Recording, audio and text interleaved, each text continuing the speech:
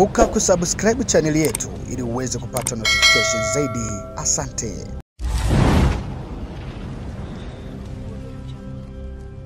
Jina naitwa Furaha Furaha Mwanginda Mwarubange.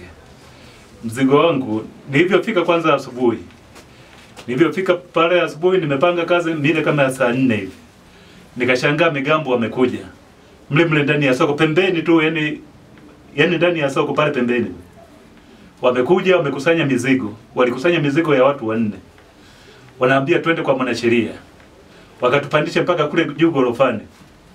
Tulipofika kule tunamwelekeza mwanasheria, bwana, samahani, mizigo yetu tunaiomba. Anaambia bila laki mbili siwezi nikatoa mizigo. Tulikuwa watu wanne, anasema laki nane. Yaani kamzigo kenyewe ambako nako, yaani hata kwa laki mbili akafika na masharti kama matano, anasema nitoe laki mbili na hiyo laki mbili yani uwezo wa kuikuta laki mbili mimi kwangu ikawa ngumu. Tukaamua kutoka tukamtumia kiongozi wa soko ambaye ni mwenyekiti wa soko soko hili soko kuu la Mwenjero hili, Mwakatumbura, lakini lishindikana. Akaambia bwana, hao mpaka watoe laki mbili. Akawa napita na ni diwani, tukamwelekeza diwani, bwana diwani, tusaidie sisi hapa tuna ya, yani sisi hapa tuna familia, tuna watoto, wapo wengi wanaotufuata nyuma. Lakini mwanasheria huyu alikataa, alisema mimi bila laki mbili mimi hapa sitoi mzigo.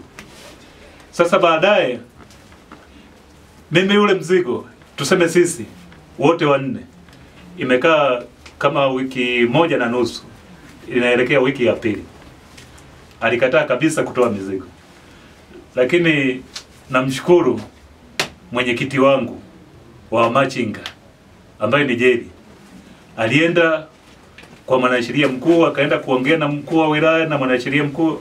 Sasa sielewi kilichoendelea, ila alinitolea mzigo. Aliyenisaidia sana ni mwenyekiti wa machinga Jeri, lakini kwa kusema ukweli, yani hili soko tunanyanyaswa, kunyanyaswa, tunanyanyaswa. Yani sijawahi, yani kuzunguka kwangu sijawahi kumuona, yani sijawahi kuona soko, yani mtu anafukuzwa ndani ya soko anawafukuza ndani ya soko, anasema mkapange barabarani. Yaani hicho kitu ni cha ajabu sana. Mpaka saa hizi hatima yetu ni ngumu sana, yaani mpaka saa hizi familia tumepoteza familia, yaani zinahangaika kwa sababu hata mia mbili ya kuacha saa hizi haipo. Watu tunalala njaa saa hizi, hatuelewi hatima yetu itakuwa wapi.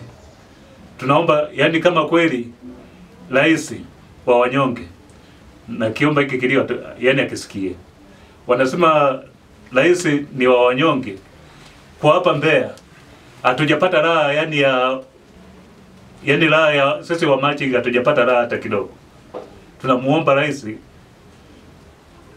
kama hili ali, yani atufikirie kwa mapana sana.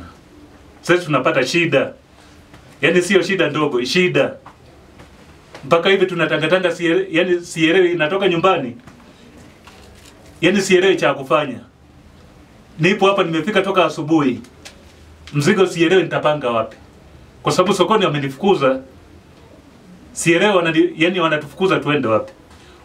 Rais alisema tuende nani airport, lakini airport kule miundombinu bado. Tunamwomba turudishe sehemu ambayo tulikuwa ambayo tulikuwa tunatafutia mia mbili, tubaki hapo hapo.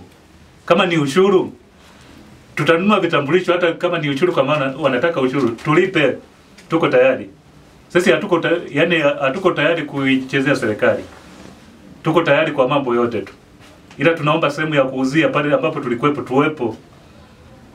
Sehemu nyingine nane itakuwa ngumu sana, kwa sababu yani naongea hivi na hasira. Wamenyang'anya mzigo wangu, nimekaa zaidi ya wiki moja na nusu, yani nimepoteza mwelekeo kabisa. Hata cha kufanya sielewi nifanye nini na na familia na familia inanitegemea mimi. Isitoshe na kamkopo, jinsi ya kukalipa kamkopo sielewi.